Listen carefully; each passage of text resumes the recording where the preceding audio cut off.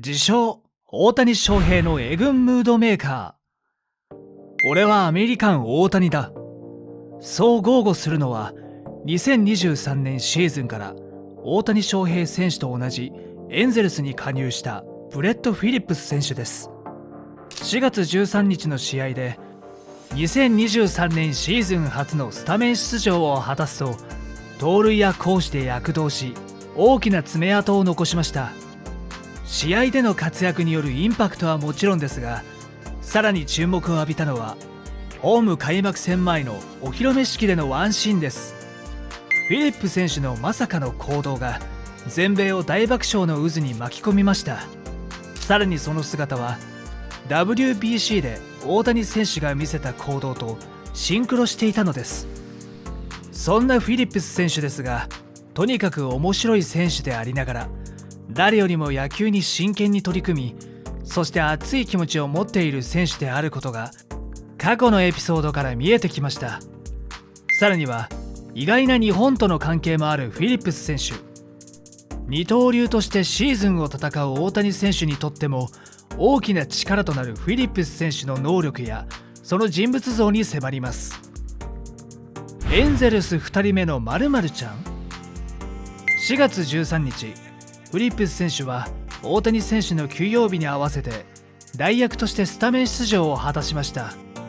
フリップス選手といえば2023年シーズン開幕後ホームランを打った選手にハット帽子や兜をかぶせる役としてたびたび登場していました。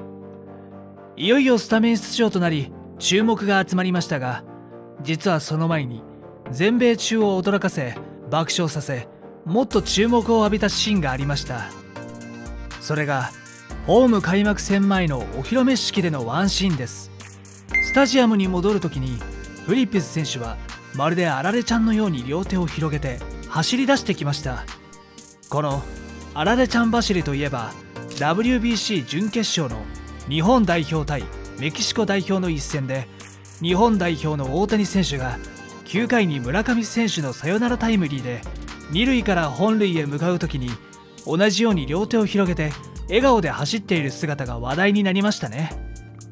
今回のフィリップス選手のあられちゃん走りはまるで WBC の大谷選手を彷彿とさせるような走りでした。そしてこのフィリップス選手のあられちゃん走りが偶然ではなく大谷選手を意識したのではと思われるエピソードがあります。2022年シーズンオリオールズに所属していたフリップス選手は5月にエンゼルスと対戦した時に大差がついていたことから野手ながら投手として登板しました。その時に大谷選手とも対戦し試合後のインタビューでは「俺はアメリカン大谷だ。アメリカの翔平対日本の翔平と自ら話していたのです。自称二刀流を豪語するフリップス選手。2023年スタメンの場でここぞとばかりに大谷選手を彷彿させるあられちゃん走りを披露したのかもしれませんね。ハイチュウ大好き。日本との意外な関係とは？全米中を爆笑させたフリップス選手ですがその人物像に迫ると日本との意外な関係性が分かりました。フリップス選手は大の親日家でハイチュウをこよなく愛しポケモンカード集めを趣味にしていて小さい頃からカード集めをしていたといいます。ポケモンはまだしもハイチをこよなく愛しているメジャーリーガーはなかなかいないのではないでしょうか。大活躍だった初スタメンの試合後の取材でも米メディアの質問が終わった後日本メディアの皆さん質問ないですか？と問いかけ記者一人一人と握手するなど日本を意識した対応をしていました。さらにフィリップス選手の奥様のお父さんは2003年から2007年まで日本ファンファイターズで監督を務めたヒルマン氏です。フィリップス選手の奥さんも父親であるヒルマン氏と一緒に当時は日本で暮らしていました。フリップス選手は日本で開催された2015年のプレミア12にアメリカ代表で来日しており日本は大好き。プレミア12で行ったよ。大谷も当時日本にいたよね。と当時を振り返っています。さらに日本にまた戻りたいよ。ヒルマン氏とはいつも話をする。妻も日本が大好き。と日本愛を明かしました。4月13日の試合後インタビューでも観戦に来てくれたファンの皆さんありがとう。日本で見てくれているファンの皆様もありがとう。とアメリカのメジャーリーガーとしては異例なヒーローインタビューでの日本のファンへのメッセージを残してくれました。日本を愛しているフィリップス選手ですが日本のファンもフィリップス選手を大好きになってしまうナイスガイですね。フリップスが動けば何かが起きる。驚きの特殊能力？意外な面で注目を浴びているフィリップス選手ですがプレーでもちょっとした特殊能力ではないかと注目されていることがあります。それはフィリップス選手が全力プレーすると何かが起きてしまうことです。2023年シーズン初スタメンとなったナショナルズ戦。3回の打席でフォアボールを選び出塁しその後俊足を生かして2投と3投を決めました。すると3投を阻止しようとしたナショナルズの星が三塁へ悪送球。なんとフィリップス選手は無安打で先制のホームを踏んだのです。自分の力だけでホームまで帰ってきたフリップス選手のプレーに各駅停車のランニングホームランってことで兜かぶせてというコメントも見られました。さらに2020年にレイズに所属していた時にも信じられないプレーを引き起こしたエピソードがあります。ワールドシリーズ第4戦レイズが1点を追う9回裏2アウト1、2塁という一打サヨナラの場面。打席にはダイソーで途中出場していたフィリップス選手が立ちました。そしてフィリップス選手は見事センター前タイムリーを放ちますがそこからまさかの展開が待っていました。レイズの対戦相手であるドジャースのセンター・テイラー選手が手間取ったかと思えば一塁走者のアロサ・レーナ選手は三塁を回ったところで転倒しました。その間に星のもとに送球されアロサ・レーナ選手は本塁手前で急ブレーキをかけますが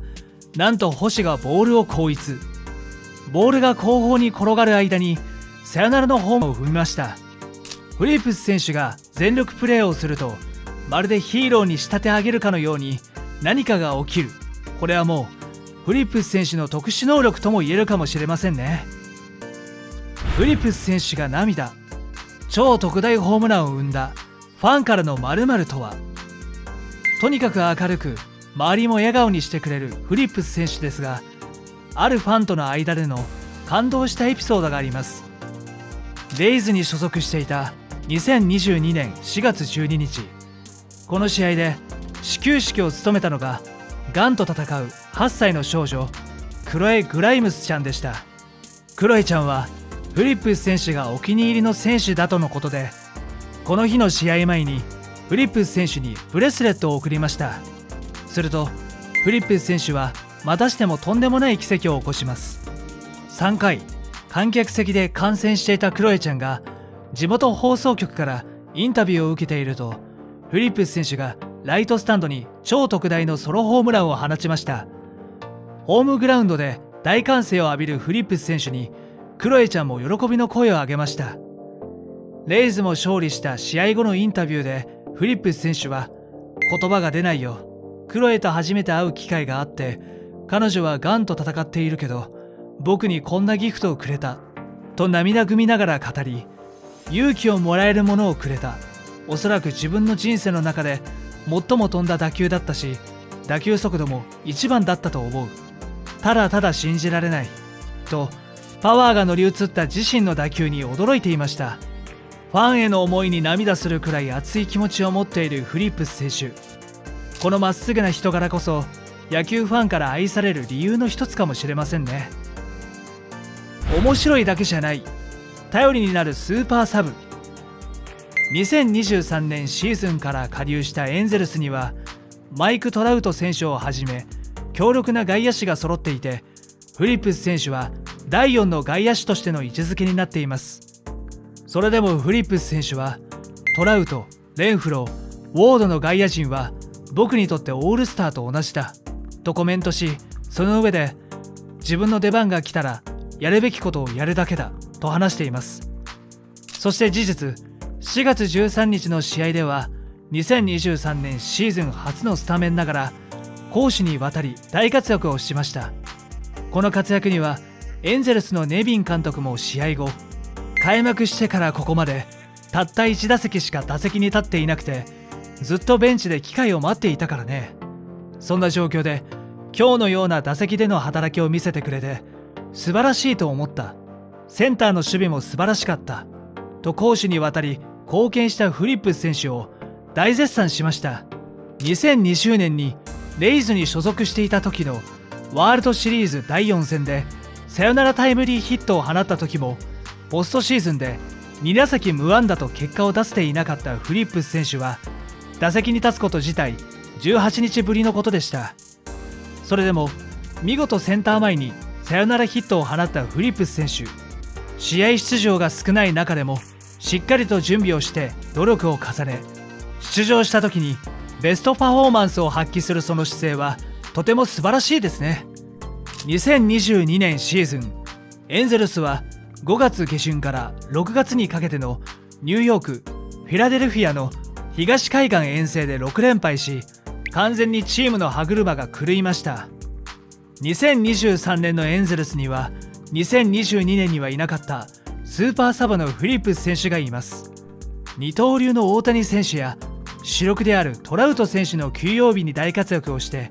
チームの勝利に貢献してくれることでしょう。でもこれだけ楽しくて熱いフィリップス選手をレギュラーで毎日見たいという気にもさせてくれますね。そしてあれでちゃん走りで元気に登場しグラウンドを走り回ってくれることに期待したいですね。あなたはどう思いますか？あなたの意見もぜひコメント欄に書いて教えてください。また大谷選手を応援している活躍をもっと見たいという方はぜひチャンネル登録もよろしくお願いしますね。最後までご覧いただきありがとうございました。この動画が良かったらグッドボタン高評価をお願いします。ではまた次の動画でお会いしましょう。